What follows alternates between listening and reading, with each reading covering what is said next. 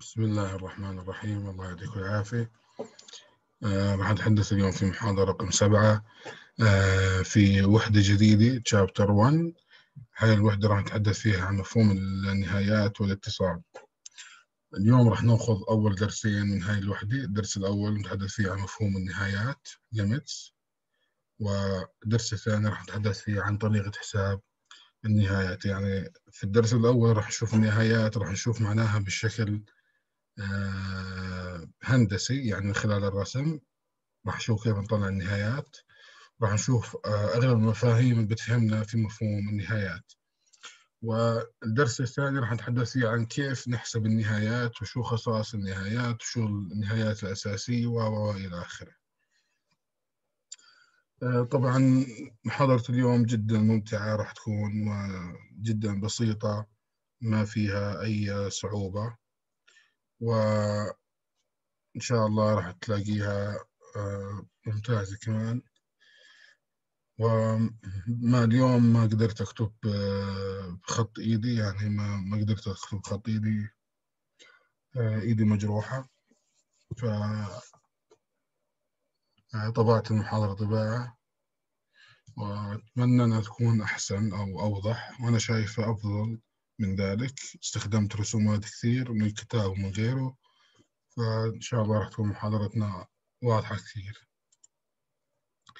في الشابتر الأول هذا هو الشابتر الأول الوحدة الأولى آه عنوان هذا الشابتر Limits and Continuity النهايات والاتصال. إذا في هذا الشابتر أو في هاي الوحدة راح نشوف النهايات بشكل عام وراح نشوف مفهوم الاتصال. لأنه مفهوم الاتصال مرتبط جدا في النهايات. فزي ما حكينا الدرس الأول هو الليمتس النهايات بشكل عام. آه شو معنى نهاية فخلينا نشوف بهذا الشكل وشو معنى هذا الكلام. طيب الآن لو ثبتنا عدد اللي هو اثنين هذا العدد اثنين بدنا نشوف آه، صور الأعداد الحوالي اثنين صور الأعداد اللي على يمين اثنين وصور الأعداد اللي على يسار اثنين هاي صور الأعداد اللي على يسار اثنين هاي صور الأعداد اللي على يمين اثنين لو قربنا من اثنين هل الصور تقترب من هاي النقطة اللي هي ثلاث؟ يعني إحنا لغاية الآن ما ما شفنا مفهوم limit يعني ندرس مفهوم تقارب أعداد تقارب أعداد على X هل بتتقارب صورها على Y؟ ولا لا؟ فمن خلال جدول التعويض ومن خلال الرسم بنلاحظ إنه صور الأعداد اللي على يمين اثنين لو صغرنا كثير يعني يعني أقرب ما يمكن يعني اثنين واحد بالألف زي ما أنت شايف اثنين وخمسة بالألف. تمام؟ واثنين وواحد بالمية اثنين وخمسة بالمية اثنين وواحد بالعشرة اثنين وخمسة بالعشرة. هذا من على اليمين نفس الكلام من على اليسار. فكل ما اقتربنا كل ما اقتربنا بشكل دقيق لاثنين من على اليسار وكل ما اقتربنا بشكل دقيق لاثنين من على اليمين. المكتوب عندك كان left side right side يسار يمين. تلاحظ إن الأعداد تقترب للصورة اللي هي نفسها ثلاث. يعني هنا في عندك ثلاثي وفراطة وهنا عندك ثلاثي إلا فراطة. يعني هي هي عدد قريب جدا للثلاث. فمفهوم النهايات اجى من خلال هذا الكلام. إنه أنا ما بدي ما بدي أدرس صورة العدد نفسه. ما بدي أدرس صورة العدد نفسه لا. أنا بدي أدرس صورة الأعداد اللي قريبة منه. واضح؟ ما بدي أدرس صورة العدد نفسه بدي أدرس صورة الأعداد اللي قريبة منه. طيب ليش؟ ليش بتروح تشوف الصورة نفسها؟ لأنه في بعض الأحيان يكون اقتران غير معرف عند هذا العدد. زي صفر المقام مثلا. مجال تحدثنا عنه سابقا. فبعض الاقترانات ما يكون معرف عند هذا العدد يكون في عندك هنا دائرة فما له صورة. فإحنا عندنا فضول نشوف صور الأعداد اللي حواليه. لمن تقترب. طبعا ل أيضا لغايات فيزيائية أو غايات هندسية زي ما بنفوت في هاي المواضيع. بس إحنا ناخذ الموضوع بكل بساطة وبعدين آه بنشوف شو في عليه. بس إنه في بعض مرات إحنا بنحتاج نشوف صور العدد اثنين إيش؟ وبكون اقتران غير معرف عند اثنين فإحنا بنروح نشوف النهاية حوالي اثنين. واضح؟ فهذا مفهوم يعني هيك يعني شوي مفهوم الأعداد اللي تقترب من اليمين وتقترب من اليسار والصور كيف شكلها. الآن بدنا نشوف مفهوم النهاية ففي عندنا definition تعريف. آه ما بدنا آه يعني خلينا نحكي مو مشكلة. If the values of f of x can be made as close uh, as we like to L. آه، إذا كانت قيم الاقتران f of x كانت قريبة جدا من العدد اللي بدنا إياه اللي هو L by, by taking values of x sufficiently close to A. إذا أخذنا قيم x كانت قريبة أيضا من A مع كاتب لك أنا but not equal أو في التعريف هيك but not equal يعني ما راح تساوي A. زي ما حكينا مفهوم النهائي هي أعداد تقترب ولا تساوي. تمام؟ Then we write هذا الكلام. شو معنى هذا الإشي؟ إذا وجدنا إنه مجموعة الأعداد يعني هذا معنى معنى الكلام اللي فوق. إذا وجدنا إنه مجموعة الصور تقترب إلى عدد معين اللي بدنا إياه هو ال إذا متى هاي الصور تقترب للعدد اللي اسمه ال للقيم x التي تقترب من a. مش تساوي a. واضح؟ وجدنا الصور تقترب إلى عدد اسمه ال لقيم x التي تقترب من a ولا تساوي a. إذا هذا الكلام يكون صحيح 100% طيب هيك إحنا بنكتب الليمت هيك النهاية إحنا بنكتبها. هاي معناها الليمت لما x تقترب ل a للاقتران f of x بيساوي l. واضح؟ النهاية عندما x بتقترب إلى a للاقتران بيساوي l. واضح؟ اللي هي ال هاي اللي هي ثلاث وال x ال a اللي هي اثنين. هسه بنشوف في أمثلة كثيرة. واضح؟ الآن كيف بنقرأها؟ المفروض يعني نقراها بنقرأها كالتالي. Is read uh, which is read. The limit of f of x as x approaches a is l. يعني شو معنى هذا الكلام؟ معناه النهاية للاقتران f of x عندما x تقترب ل a هي l. هذا هيك معناه أو بنقراها على الشكل التالي f of x approaches l. الاقتران f of x يقترب من l أو الصور تقترب من l عندما x تقترب من e. هيك. Approach معناها تقترب أو تتقارب. and it can also be written هاي صيغة الأصلية اللي راح نستخدمها في كتابة النهايات وهي صيغة ثانوية إحنا راح نشوفها في كتابة النهايات. هاي الصيغة الأصلية إحنا هيك بنستخدم الليمت وهيك نتعامل معها لكن هاي صيغة أخرى لكتابة الليمت. هاي شو معناها؟ الاقتران يقترب ل عندما x تقترب ل بس هيك معناها. واضح؟ فلو شفنا هذا المثال طبعا هذا مثال يعني هذا الموضوع الاقترانات المثالية والنهايات راح نشوفه بشكل خاص. لكن إحنا هيك إحنا إحنا في section 1 راح نشوف فقط النهايات بشكل الرسم يعني في رسمه ونطلع النهاية من خلالها. فالموضوع هيك راح يكون. فالآن لو جينا على هذا الاقتران طبعا هذا الاقتران موجود عندنا عندنا علاقته y بيساوي f of x وبيساوي sine x على x. هذا الاقتران لو جينا عند الصفر لو شفنا النهاية لما إكس تقترب إلى الصفر فبتلاحظ إنه أصلا الصفر ما له صورة. ليش الصفر ما له صورة؟ لأنه صفر مقام. آه يعني عن نفس الموضوع كنا نتحدثين آه قبل شوي. ف آه، صور الأعداد اللي حوالي صفر. يعني ما بشوف أنا صورة العدد الموجود هنا ولا العدد الموجود هنا. لا بشوف عدد قريب جدا من الصفر من اليمين ومن اليسار. فبتلاحظ إنه صورة العدد من اليمين هيك بترفع خط. خلينا نرتب خط يعني مو مشكلة. فصورة الأعداد من اليمين راح تكون هيك. وصورة الأعداد من على اليسار راح تكون أيضا هيك. فتلاحظ إن الإعداد من اليمين والإعداد من اليسار تقترب لعدد معين اللي هو إيش؟ واحد. فعشان هيك النهاية عند هذا العدد للاقتران sine x على x بيساوي واحد. فمكتوب عندك هذا الكلام. ال limit لما x تقترب إلى الصفر. واضح؟ يعني هيك زي ما شفنا كيف نكتب. limit لما x تقترب إلى الصفر للاقتران شو هو الاقتران؟ هو sine x على x نكتب صيغة الاقتران شو بيساوي؟ العدد الذي يقترب إليه آه، تقترب إليه الصور هو واحد على هذا الشكل واضح؟ أو نكتبها بصيغة أخرى الاقتران sine x على x يقترب للواحد عندما x تقترب للصفر طبعا هذا الكلام نادر إحنا ما نستخدمه إحنا دائما نستخدم هذا الكلام اللي هي هاي صيغة ال limit اللي راح نشوفه إحنا دائما واضح؟ الموضوع إن شاء الله آه، بسيط. طيب. الآن في عندنا مفهوم فإحنا يعني زي ما حكينا بنعيد مرة ثانية في هذا الدرس راح نشوف مفاهيم راح نشوف مواضيع عن تعريفات معينة في موضوع ال limit. فالمفهوم اللي آخر راح نشوفه هو ال one sided limit فمن اسمها نهايه من اتجاه واحد. one sided limit. النهايات من من اتجاه واحد. فشو مكتوب عندك؟ أنا كاتب لك أن the limit we used before النهاية اللي استخدمناها قبل شوي اللي هي هاي limit لما x يقترب هاي شو بنسميها؟ is called two sided limit. هاي بنسميها النهاية من جهتين. ليش؟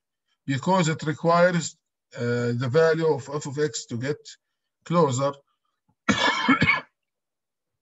and closer to L as values of x are taken from the uh, from either side left or right. يعني هاي النهاية اللي قبل شفناها عشان كنا لما كنت أشوفها كيف كنت أتعامل معاها كنت أروح أدور على الاعداد اللي تقترب من على اليمين ومن على اليسار من على الجهتين. فعشان هيك بنسميها نهايه من على الجهتين وواضح.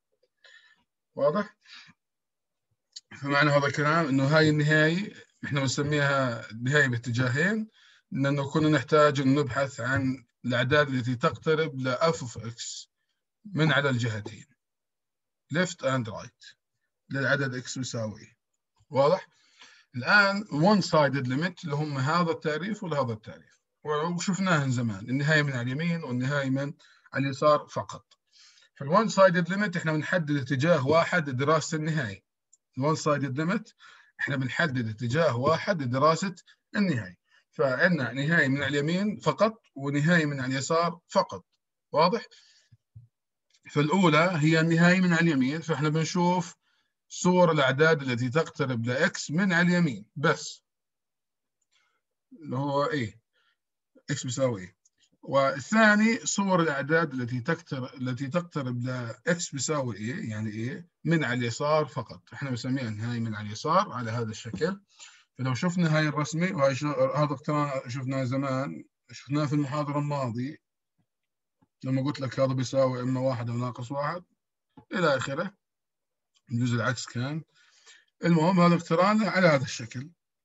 فهذا الاقتران لو جينا درسنا النهاية لإكس يقترب إلى صفر من على اليمين. بنلاحظ إنه بيساوي واحد هي صفر. خلينا نكتب إحنا بنحب نكتب. أي الصفر هذا هو العدد الصفر. من على اليمين واحد ومن على اليسار ناقص واحد. في النهاية من على اليمين غير عن النهاية من اليسار. فهذا من يعني من, من أحد المو يعني من أحد الأشياء اللي خلتنا ندرس النهاية من على جهة واحدة إنه بعض المرات تكون النهاية من على اليمين غير عن النهاية من على اليسار زي مثال شفناه الآن. في النهاية من على اليمين بيساوي واحد بسبب الرسم إحنا لغاية الآن ما شفنا كيف نحسب النهايات. والنهاية من على اليسار بيساوي ناقص واحد بسبب أيضا الرسم زي ما إحنا شايفين أمامنا.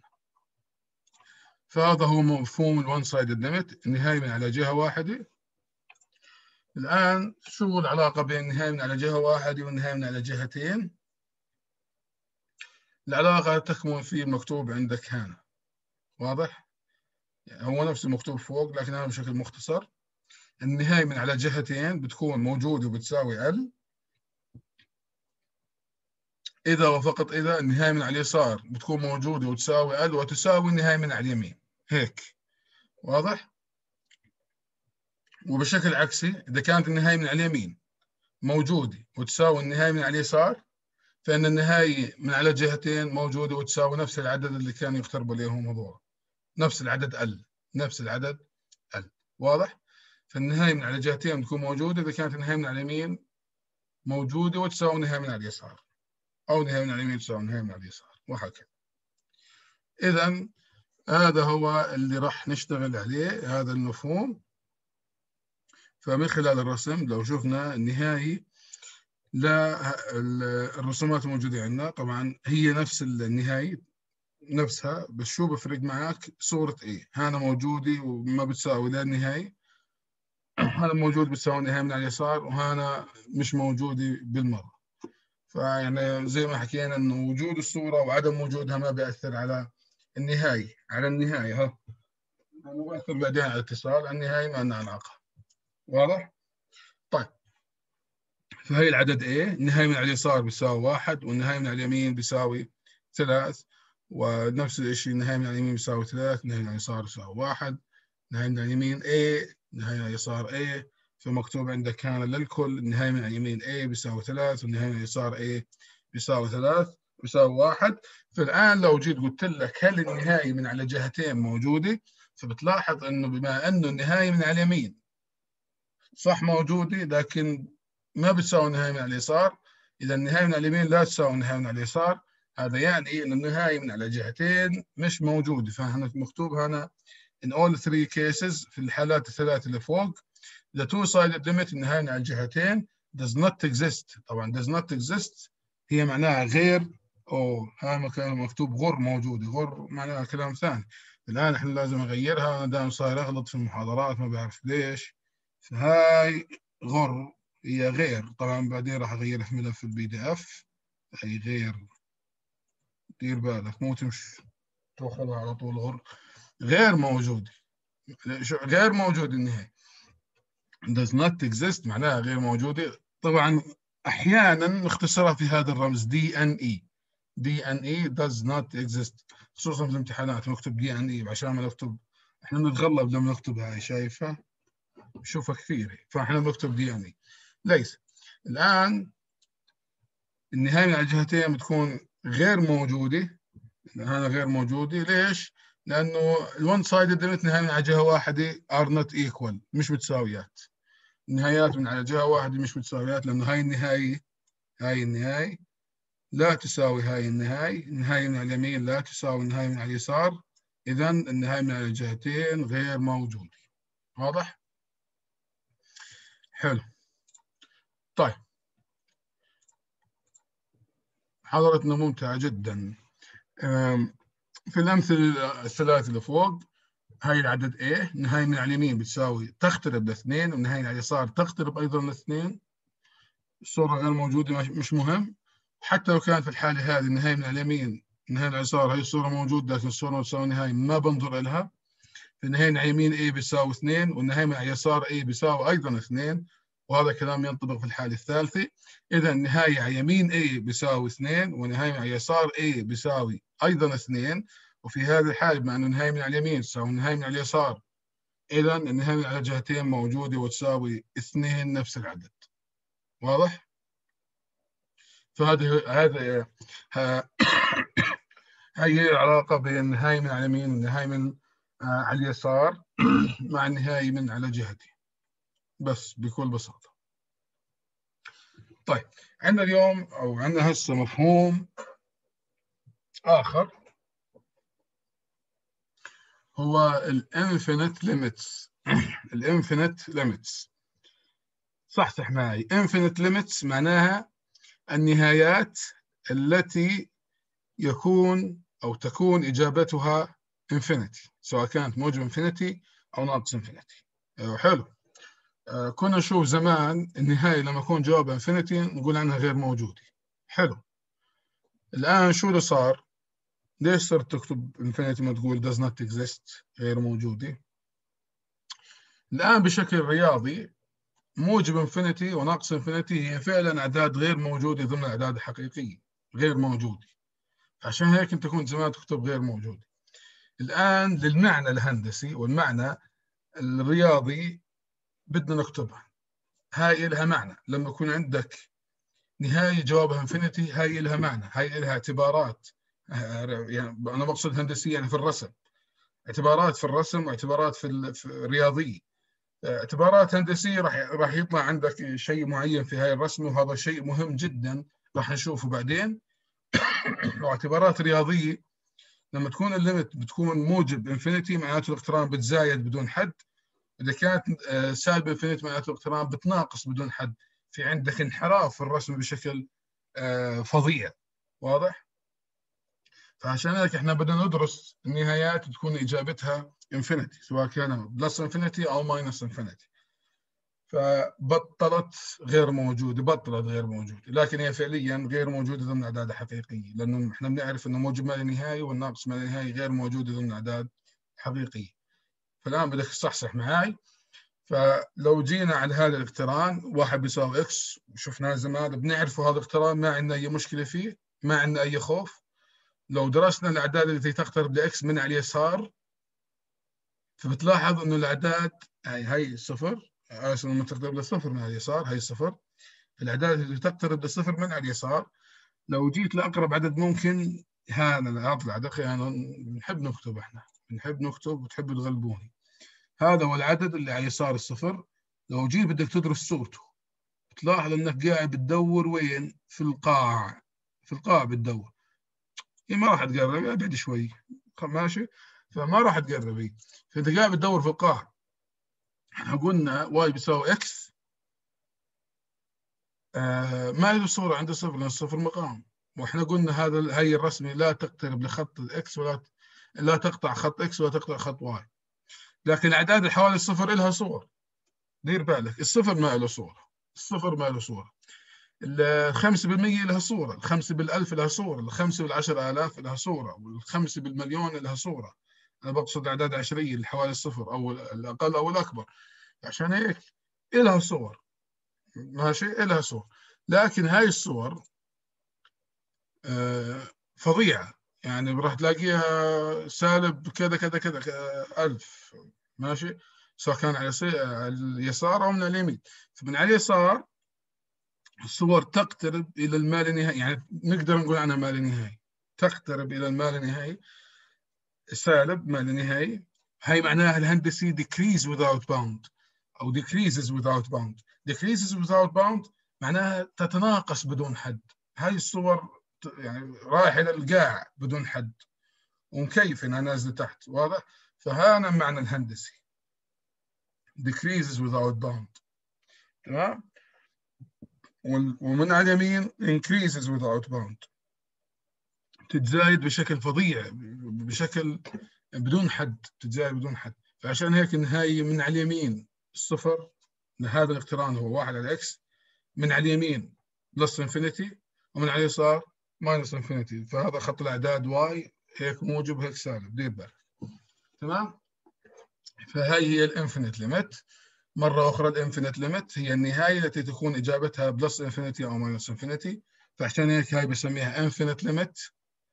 وهي بسميها infinite limit واضح؟ طيب.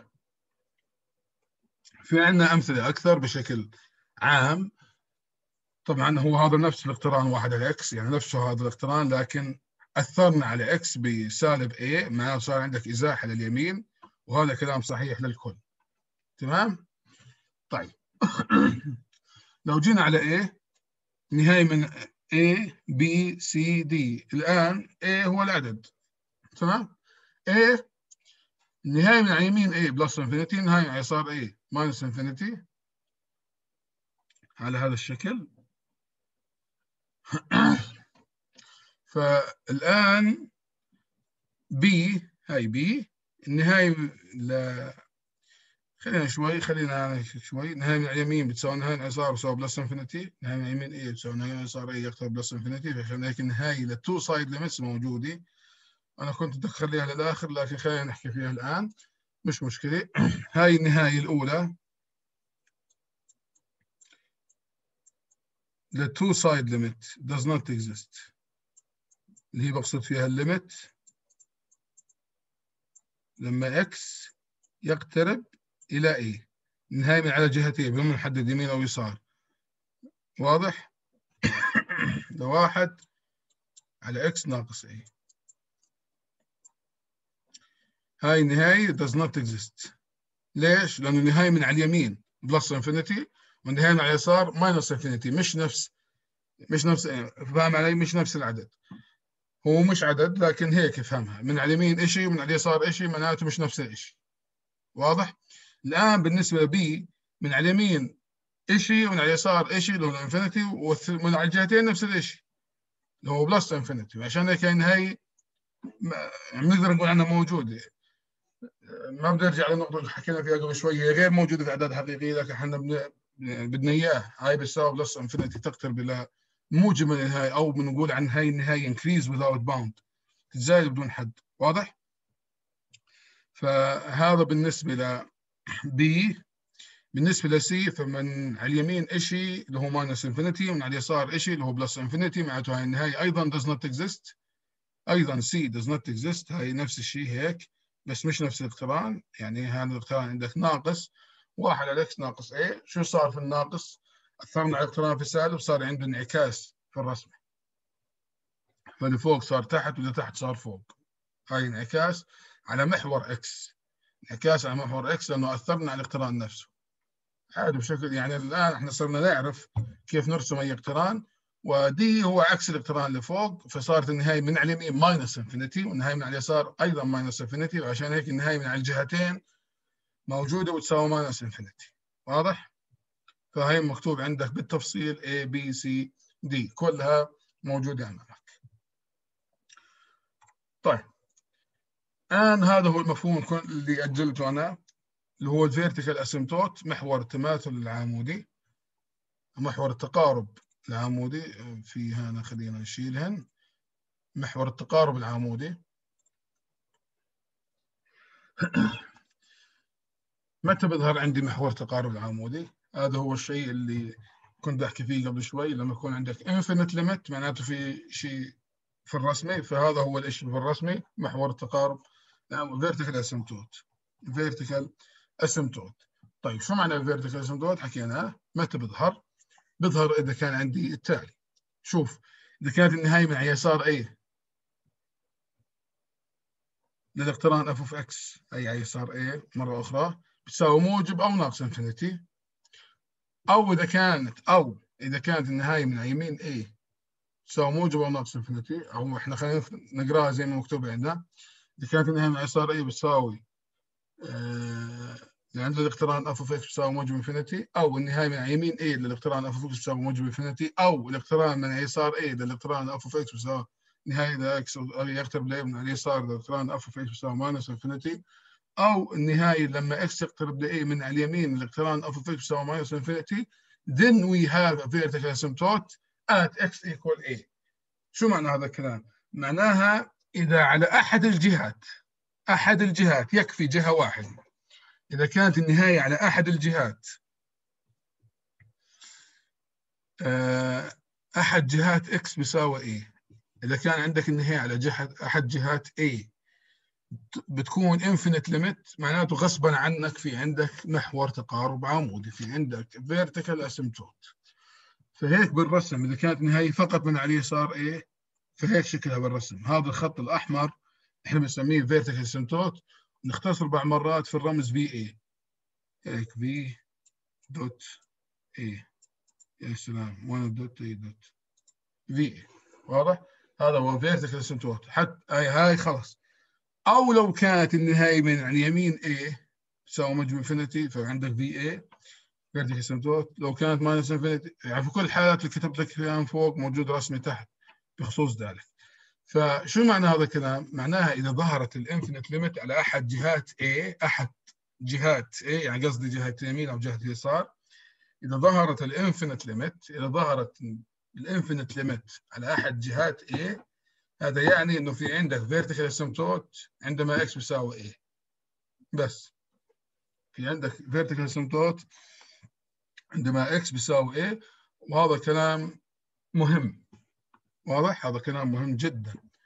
طيب الآن راح نفوت في الدرس الثاني. الدرس الثاني في هذه الوحدة نتحدث فيه عن computing limits حساب النهايات. ففي عندنا في البداية some basic limit النهايات الأساسية إحنا راح نستفيد من الرسومات اللي بنعرفها عشان نكون مفاهيم على حساب النهايات. شو الفرق بين الدرس الأول والدرس الثاني؟ الدرس الأول كنا نشوف ال limit من خلال الرسم. في عندك رسمة من خلالها بطلع ال limit الآن في الدرس الثاني إحنا بدنا نصير نحسبها بدون ما نرجع للرسم.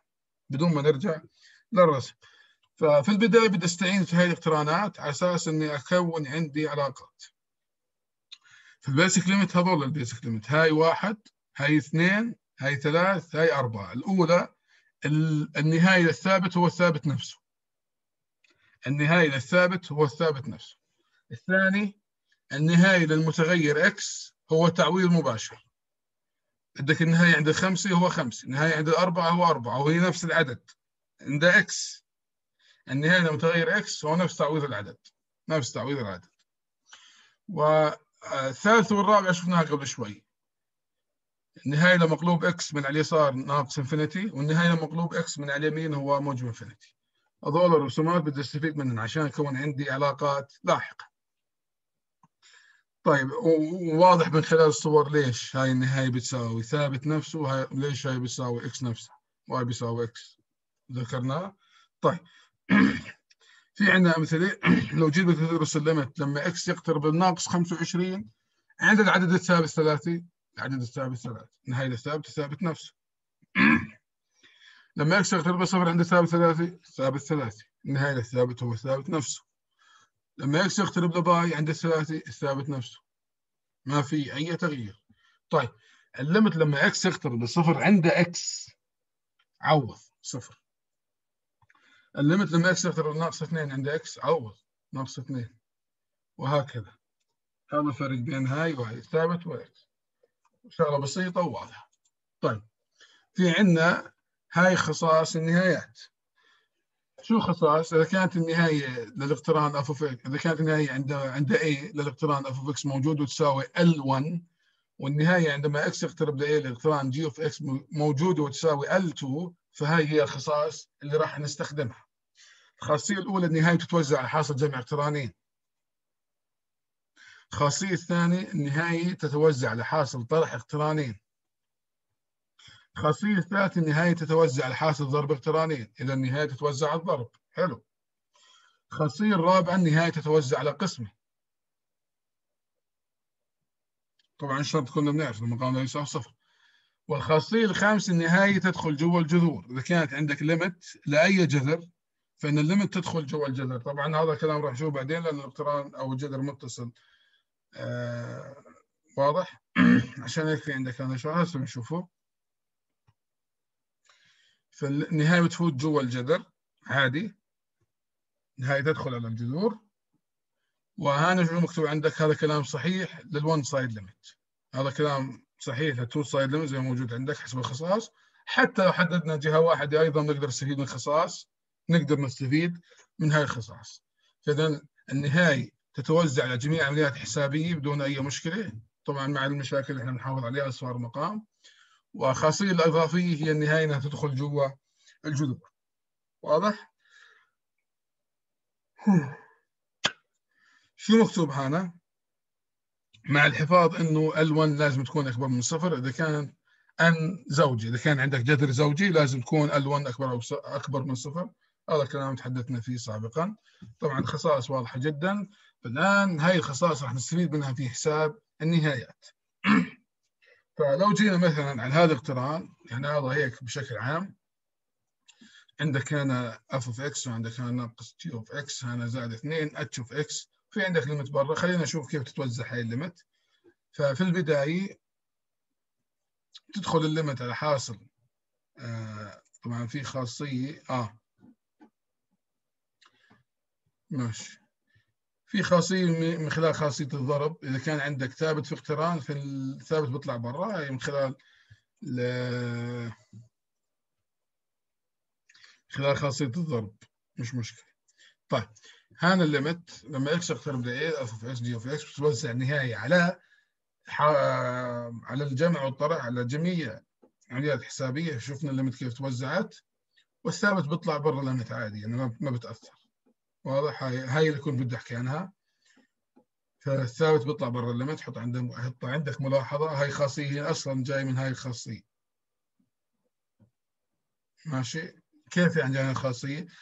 إذا كان عندك بدل f of x كان عندك ثابت وهنا في عندك g of x فال limit تتوزع على حاصل ضرب حلو. فعندك كان ال limit للثابت ضرب.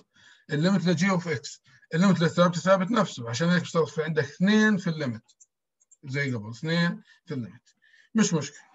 فأنت حط عندك دائما إنه الثابت دائما يطلع برا ال limit ما عنده أي مشكلة. هنا في عندك حاصل جمع حاصل ضرب اقترانات في النهاية توزعهم على هذا الشكل بشكل بسيط جدا. أيضا في عندك الأسس نهاية توزع على الأسس تدخل جوا الأسس ال limit ل f of x كل تكعيب. هاي بيساوي limit f of x الكل تكعيب. طبعا هذا السبب إنه الاقتران متصل. ماشي؟ فهاي عندك تعميم. هاي ضيفه كمان خصائص تقدر تضيفها limit ل f of x قوة n بيساوي ال limit نفسها ال limit تدخل جوا الأس. فعشان هيك ال limit لما x عند x قوة n بيساوي ال limit ل x الكل قوة n وهي بيساوي a قوة n زي تعويض مباشر. ليش؟ لأنه ال limit تدخل على الأسس زي ما شفنا قبل شوي وفي عندك هنا صارت limit للمتغير x فهو منعوض a في x صار عندك قوة. n شغلات بسيطة جدا لكن دقيقة لازم إنك تعرفها. سهل الموضوع. طيب الموضوع اللي راح نشوفه أيضا هو ال limits of polynomials النهاية عند كثيرات الحدود. هذا موضوع مهم جدا وبسيط جدا.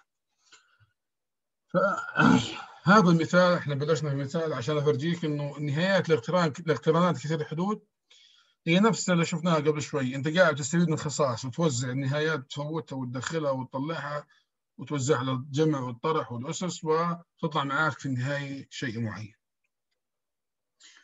فزي ما أنت شايف هذا المثال بالتفصيل يعني. وزعنا النهاية على حاصل جمع والطرح. بعدين دخلنا طلعنا الثابت برا. بعدين اخذنا الليمت فوتناها جوا تربيع فصار عندك خمسة تربيع ليمت لأربعة في خمسة ثلاثة فبطلع معك في النهاية. رقم. فشو بدي استفيد من هذا الكلام؟ في عندي هاي النظرية هاي النظرية شو تقول لي؟ من الآخر يعني. من الآخر بتقول لي النهاية عند اقتران الكثير الحدود هو تعويض مباشر. انت اكتب هنا معنى هاي النظرية كلها. النهاية عند اقتران كثير الحدود تعويض مباشر. فلو من البداية اجيت على الخمسة عوضت تعويض مباشر كنا بدي أوجد صورتها. هاي معناها خمسة تربيع اللي هو خمسة وعشرين ناقص أربعة في خمسة يعني عشرين في خمسة ناقص عشرين يعني خمسة زائد ثلاثة ثمان على طول بطلع معاك ثمان بس خلينا نتوقف شوي. طيب رجعنا لكم نعتذر. فمعنى هذا الكلام النهاية عند اقتران كثير الحدود هو تعويض مباشر أو تقدر تقول النهائي هو نفسه الصورة. النهائي إذا اقتران كثير حدود هي نفس الصورة بعطينا بعدين انطباع كبير في موضوع الاتصال. هاي معناها النهاية عند العدد A هي صورة A معنى هذا الكلام. إذا هذا بالنسبة لاقتران كثير حدود وشفنا موضوع جدا بسيط عوض تعويض مباشر دائما في كل الحالات بدون أي استثناءات. طيب. الآن limits of rational functions. Limits of rational functions معناها الاقتران نهاية الاقترانات النسبية. كنا بنعرف الاقتران النسبي وشفناه في المحاضرات السابقة وحكينا الاقتران النسبي هو عبارة عن كثير حدود على كثير حدود. عبارة عن بسط ومقام. طيب. الاقتران النسبي أنا بحب أكتبها زي هيك وأفصل كل واحد لحال الاقتران النسبي النهاية عنده راح تكون على ثلاث حالات. فهي معناها output of direct كومبينيشن هي معناها نتيجة التعويض المباشر اكتب نتيجة التعويض المباشر. إذا مجرد ما أشوف اقتران نسبي وفي عنده نهاية عند عدد معين بروح للعدد المعين وبعوضه. على طول بعوضه.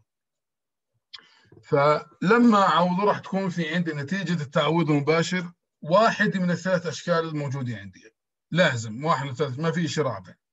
واحد منها يا إما راح تكون عندك عدد على عدد هاي ممتازة أو عدد على صفر هاي راح تطلع معاك infinite limit أو صفر على صفر هاي راح يكون في لها شغل. من الآخر. فخلينا نشوف كل حالة فيهم على حدة. الحالة الأولى عدد على عدد. لما أعوض تعويض مباشر يطلع معاك عدد على عدد إذا ما عندك أي مشكلة. الحالة الأولى ما عندك أي مشكلة. زيها زي اقتران كثير حدود. عوض صحتين وعافية. على طول. فأول شيء بمسك اثنين وبعوض تعويض مباشر. بتأكد إنها عدد عدد. يعني كيف؟ أو خذ اثنين. في عندك هنا اثنين تكعيب يعني ثمانية. ثمانية في خمسة يعني أربعين. أربعين زائد أربعة يعني أربعة وأربعين. صحتين وعافية. البسط عدد. المقام اثنين. إكس ناقص اثنين يعني ناقص واحد إذا المقام أيضا عدد. المقام أيضا عدد. فخلينا نكتبها على السريع بمسكها بعوض تعويض مباشر. هي تطلع معك أو من الآخر بتأكد إنها مش صفر ولا المقام صفر. مش مشكلة. عوض اثنين فإحنا حكينا بيطلع معك 44 يا سلام. 44 على ناقص واحد. تعويض مباشر. إذا هاي على الحالة الأولى. على طول. أن على الحالة الأولى معناته تعويض مباشر فهي بتطلع معك ناقص 44 ليش؟ لأنه 44 على ناقص واحد. هذا موجود عندك حلها بالتفصيل إنه الليمت والله وزعناها على القسم وبعدين وزعناها على الجمع والطرح آه علي. حلو؟ هذا بالنسبة للحالة الأولى. الحالة الثانية. هاي الحالة الثانية أنا أنا بحبها الحالة الثانية. لأنها بتعطيني شيء مرتب ومباشر. الحالة الثانية اكتب عندك عندما تكون النهاية للاقتران النسبي عدد على صفر فراح تكون النتيجة غصبا عنك مش عننا لا عنك انت غصبا عنك انت راح تكون infinite limit راح تكون نتيجة النهاية infinity دائما شفت النهاية عدد على صفر حط في بالك راح تكون نتيجة infinity ما لا نهاية شو بضل عليك؟ بضل عليك تحدد إشارة ال infinity هل هي موجب infinity ولا ناقص infinity فشو المكتوب هنا؟ The limit may be minus infinity from one side and plus infinity from either side. هذا معناته يمكن تكون من على جهة سالب infinity ومن على جهة معينة موجب infinity وهي معناها ممكن تكون من على الجهتين موجب infinity وهي ما والحالة الثالثة يمكن تكون من على الجهتين minus infinity فشو معنى هذا الكلام؟ معنى هذا الكلام أنا متأكد 100% أنها حتكون infinity لكن مش مش متأكد منه إشارتها. يمكن تكون من على اليمين غير من على اليسار زي الحالة الأولى ويمكن تكون من على اليمين نفسها من على اليسار زي الحالات الثانية والثالثة. طيب. كيف بنشتغل هذه؟ بنشتغلها من خلال خط الأعداد بس بس. وهذا فيه أي شغل لا اختصر ولا جمع ولا أضرب ولا أطرح ولا حلل ولا شيء فلو مطلوب كان مطلوب مني في هذا المثال هم ثلاث يعني هذول نفس الإقتران نفسهم الثلاث لكن هنا على يمين الأربعة على يسار الأربعة على الأربعة. يعني هنا جهة واحدة وهنا على الجهتين طيب. شو بسوي؟ شوف شو بسوي. أول نقطة عوض تعويض مباشر عشان تحدد الحالة اللي تشتغل عليها. فلما تعوض تعويض مباشر بيطلع عندك 2 ناقص 4 ناقص 2 في البسط. على x ناقص 4 4 ناقص 4 يعني صفر. فصار عندك 4 2 على صفر يعني عدد على صفر. بعرفكم تحبوا الكتابة خلينا نكتب. لما بنكتب بصير عندنا إيش؟ لوك فلو أي واحد منهم كلهم عند الأربعة. خلينا ناخذ مثلا كلهم عند الأربعة عادي. لما تعوض الأربعة بيطلع معك 2 ناقص 4 يعني ناقص 2 على صفر. ليش صفر؟ لأنه في عندك كان 4 ناقص 4 اذا من خلال التعويض المباشر ظهر عندي عدد على صفر. حددنا نوع المرض. نوع المرض عدد على صفر. معناته شو بتقول في مخك؟ هذا جواب ما له نهايه على طول هذا الجواب ما له نهايه تمام؟ لكن بدي أحدد إشارته. بدي أحدد إشارته. فبروح على طول بعمل خط أعداد. انتبه عندي. نسوي خط أعداد. هاي نقاط مهمة جدا وبتفرق معك بعمل على طول خط أعداد. وبعدين بحط على خط الأعداد كل عدد بصفر البسط وكل عدد بصفر المقام. واضح؟ كل عدد بصفر البسط وكل عدد بصفر المقام لأنه بفرق معاك في الإشارة بس. فكل عدد بصفر البسط يعني اثنين وكل عدد بصفر المقام يعني أربعة وناقص اثنين. صار عندك ثلاث أعداد هاي الخطوة الثانية. إذا الخطوة الأولى تحديد الحالي يعني بتعوض تعويض مباشر. الخطوة الثانية إذا ظهرت معك على صفر سوي خط أعداد حط عليه كل عدد بصفر البسط وكل عدد بصفر المقام. الخطوة الثالثة دراسة الإشارة. ادرس الإشارة. خذ عدد أكبر من أربعة عوضه شوف شو بصير معك. وخذ عدد أقل من أربعة عوضه وشوف شو بصير معك. طبعا هنا أنا بدي النهاية عند الأربعة بس بدي أدرس الإشارة حوالين الأربعة. يعني لو درست هاي فقط لأن بدي احددها هاي انت عندي بعد ما تحط بعد ما تحط الأعداد بصف البسط والمقام لو درست الإشارة بس هنا مش مشكلة. يعني ما في داعي أطلع هاي الإشارة وما في داعي أطلع هاي الإشارة. أهم شيء على يمين الأربعة وعلى يسار الأربعة. بس. شو صار عندي؟ الآن النهاية من على يمين الأربعة. بما أنها عدد على صفر أنا متأكد أنها infinity لكن بما انه الإشارة هنا سالب معناته ناقص infinity زي ما هو مكتوب عندي هنا. والنهاية من على يسار الاربعه بما أنها عدد على صفر اذا انها مو اذا إنها infinity وبما أنها اشاره موجب معناته موجب infinity بس. فزي ما حكينا أنا متأكد إنها infinity لكن بتأكد من إشارتها. والآن بما أن النهاية من على اليسار الأربعة لا تساوي النهاية من على اليمين الأربعة اذا النهاية الكاملة من على الجهتين does not exist. النهاية من على الجهتين does not exist. هذا A وهذا هذا B وهذا وهذا C. موضوع بسيط جدا عبارة عن خط أعداد. واضح؟ إذا عدد على صفر. على السريع من لما أشوف عدد على صفر بروح بسوي خط أعداد. بحدد فيه كل شيء بصفر البسط ومقام. بدرس الإشارة حوالين الليمت اللي بدي إياه بدرس الإشارة حوالين الليمت اللي بدي إياه الليمت عند الأربعة بدرسها حوالي الأربعة. لو كان عندي عند ناقص اثنين بدرس هذول لأن أنا استثنيت واضح؟ موضوع بسيط جدا. الحالة الثالثة لما يطلع معك صفر على صفر. في عندك هاي النظرية وهاي الحقيقة هذا ال green card تبعتك. هذا الشيء اللي بنستفيد منه إحنا دائما. شو هذا الشيء؟ بدي أعطيك إياه. أو خلينا نقرا مش مشكلة. خلينا نحكي بشكل عام بعدين نقرا طيب.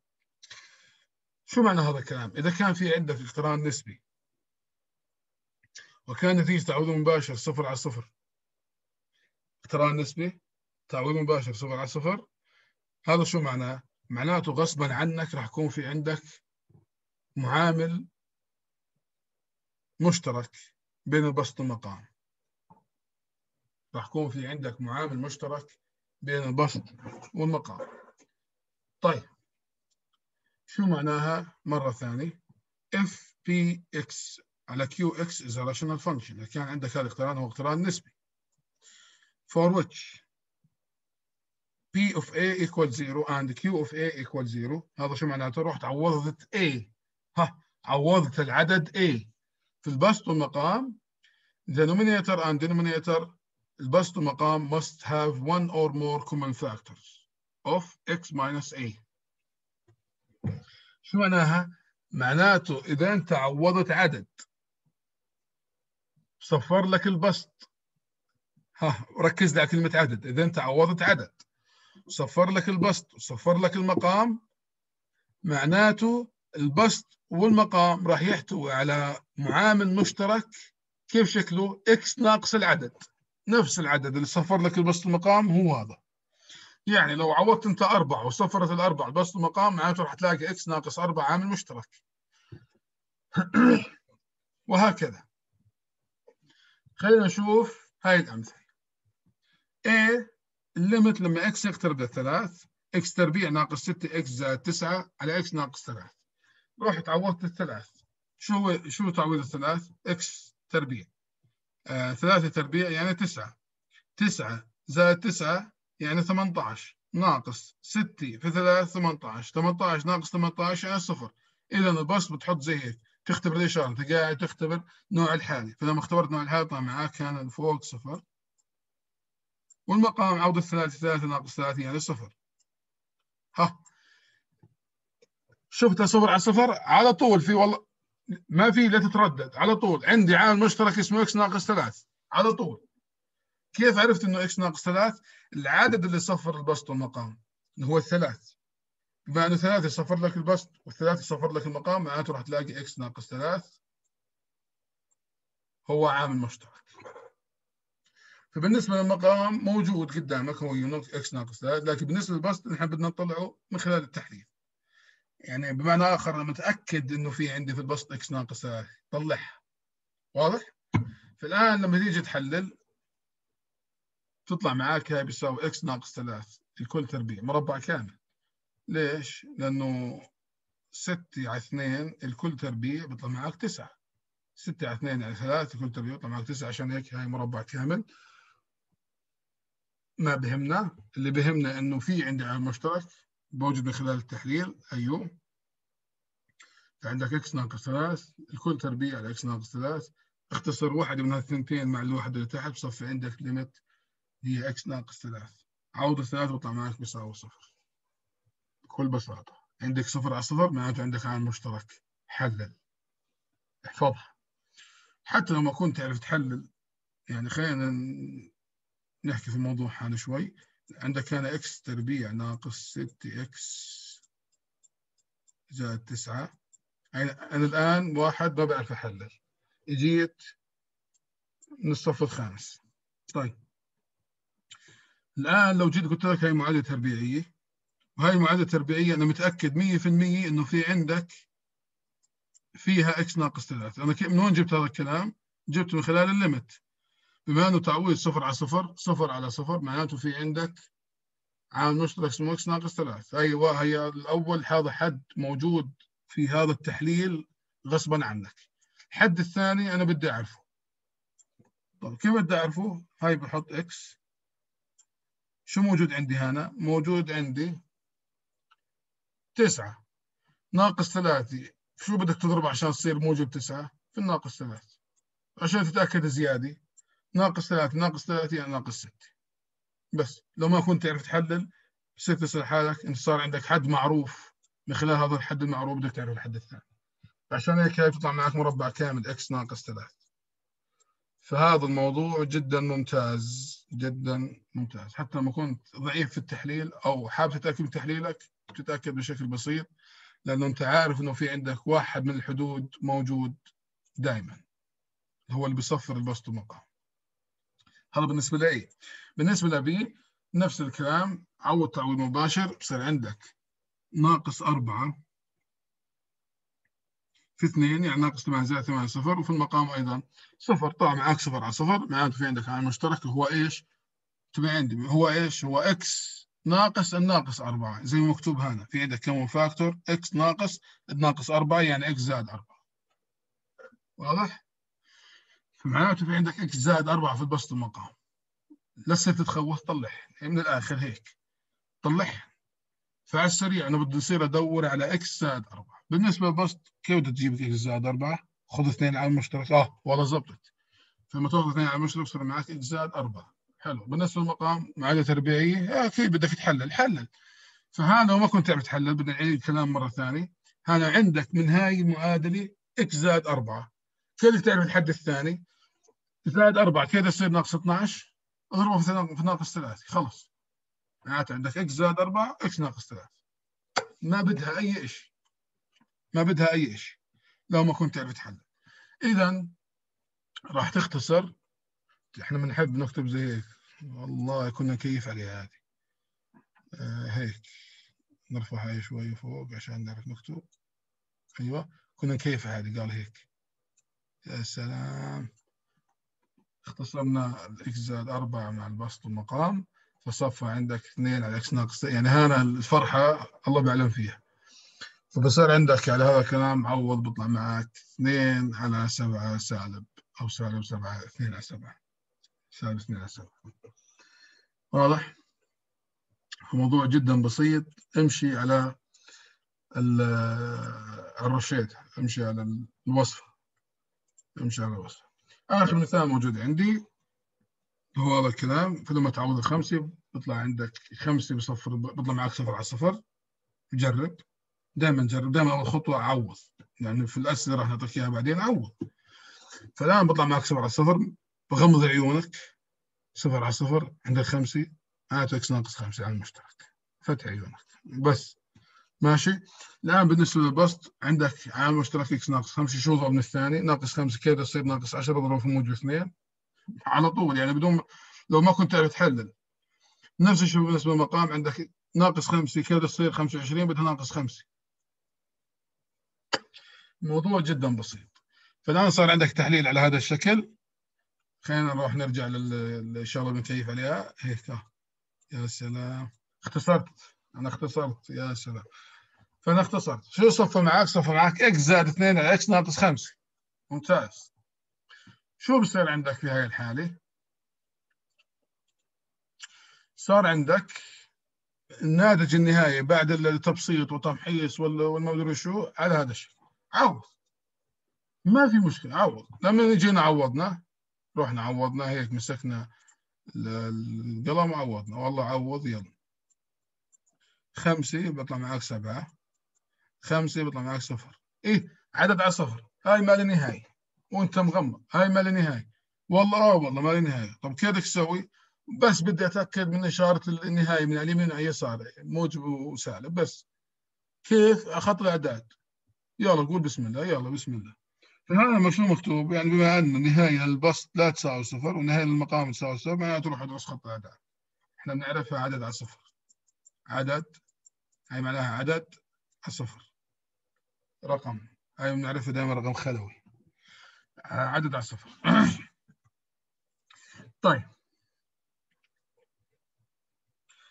عدد على صفر خط أعداد شيء بصفر البسط مع شيء بصفر المقام بصفر البسط ناقص اثنين بصفر المقام عند الخمسة.